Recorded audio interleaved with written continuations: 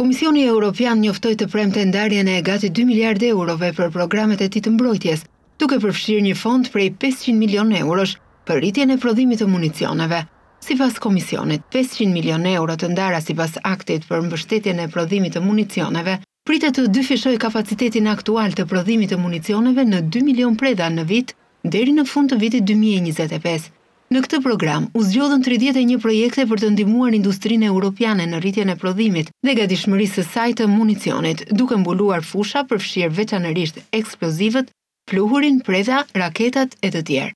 Akti për mbështetjen e prodhimit të municioneve u miratua në korrik të vitit të kaluar, për të rritur kapacitetin europian të municionit dhe për të ndihmuar vendet anëtare të rimbushen dhe furnizojnë me municione Ukrainën, duke parashikuar pengesat dhe mungesat në zinxhirin e furnizimit të mbrojtjes. Shuma e parave, e cila u bë e ditur të premten, përfshin gjithashtu treqind e dhjetë milionë euro për programin e punës së instrumentit për përforcimin e industrisë europiane të mbrojtjes përmes prokurimit të përbashkët, i cili synon të stimulojë aftësinë e shteteve anëtare për të blerë bashkarisht produkte të mbrojtjes dhe një pikë një miliard euro për programin e katërt vjetor të punës të Fondit Europian të Mbrojtjes për të promovuar projektet e kërkimit dhe zhvillimit të mbrojtjes të Bashkimit Europian. Në fillim të këtij muaji, Komisioni Europian publikoi Strategjinë e Parë Industriale të Mbrojtjes Europiane të BE-së, e cila përcakton një vizion afatgjatë për forcimin e aftësive të saj të industrisë së mbrojtjes. Deri në vitin dy mijë e tridhjetë, në bazë të kësaj strategjie,